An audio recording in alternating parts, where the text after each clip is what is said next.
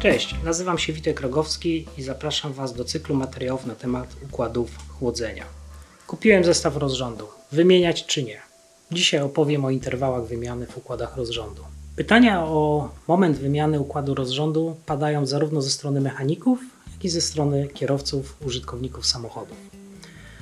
Więc może dzisiaj trochę od strony relacji pomiędzy mechanikiem a klientem. Wymiana rozrządu w większości przypadków jest wymianą naprawdę kosztowną. To nie jest 100, 200 czy 300 zł.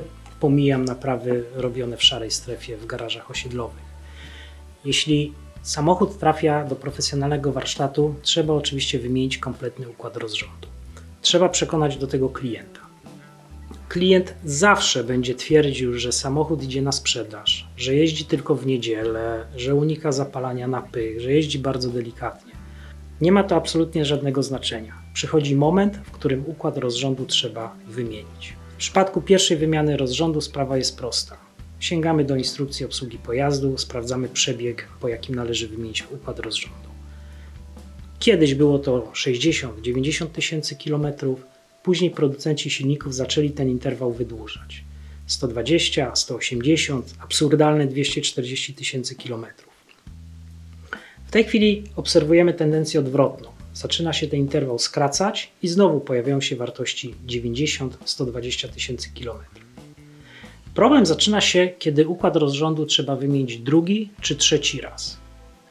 I znowu wchodzimy w relację pomiędzy klientem a mechanikiem. Klient czasami będzie się trzymał sztywno tego, co przeczytał w forum internetowym, co przeczytał w instrukcji obsługi pojazdu, będzie chciał wymianę po 180 tysiącach kilometrów. Teoretycznie dobry układ wytrzyma. Wytrzyma pompa, wytrzyma pasek, wytrzyma napinacz. Natomiast dochodzi do tego świadomość mechanika, który wie, że cały układ korbowo-tłokowy ma luzy. Silnik ma przejechane, pomijając to, że nam się wydaje 120 tysięcy. Silnik ma przejechane 240-300 tysięcy kilometrów.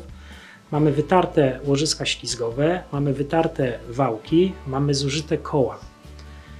Luzy w tym układzie są luzami naturalnymi. Warto skracać interwał. Druga czy trzecia wymiana nie powinna następować po takim przebiegu jak pierwsza. Skracajmy to do 60 tysięcy, do 90. Wydaje mi się, że granica 90 tysięcy kilometrów to jest ostatni moment, w którym drugi czy trzeci układ rozrządu trzeba wymienić. Pamiętajcie o tym, że lepiej zrobić to 5 czy 10 tysięcy kilometrów wcześniej niż 200 czy 300 metrów za późno. Koszty będą gigantyczne. Oczywiście trzeba to wyjaśnić klientowi, ale czasami tak naprawdę wystarczy pokazać, jak skomplikowany jest układ rozrządu, jaki wpływ ten niepozorny pasek, e, rolka, napinacz, jaki wpływ ma na cały układ korbowo-tłokowy. Jeśli zawiedzie słaby element w układzie, 5, 6, 7 tysięcy kosztów na początek. Jeśli klienci pytają Was o sposób zaoszczędzenia na takiej naprawie, to również ucinajcie takie dyskusje natychmiast.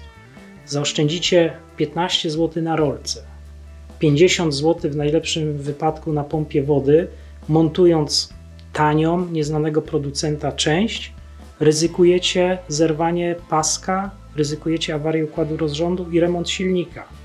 W najlepszym wypadku skończy się na remoncie góry silnika. Wiecie doskonale, że w tej chwili każdy silnik jest silnikiem kolizyjnym. Wy to wiecie, klient nie zawsze. Czasami wystarczą dwa, trzy zdania, dwa, trzy odpowiednie argumenty po to, żeby klient poszedł za wami i jednak zdecydował się na wymianę układu rozrządu przy okazji najbliższego serwisu olejowego albo przy okazji najbliższej wizyty w waszym warsztacie. W przypadku układów rozrządu najlepszym argumentem jest oszczędność kosztów przyszłej naprawy. Przebiegi, o których dzisiaj rozmawialiśmy, dotyczą napędów paskowych. One są oczywiście bardzo popularne, one najczęściej trafiają do Was na warsztat, natomiast coraz bardziej popularne stają się rozrządy sterowane łańcuchami, chociaż może trafniejszym określeniem byłoby sterowane łańcuszkami, ponieważ obecny łańcuch rozrządu znacznie różni się od tego, który pamiętamy ze starych mercedesowskich silników.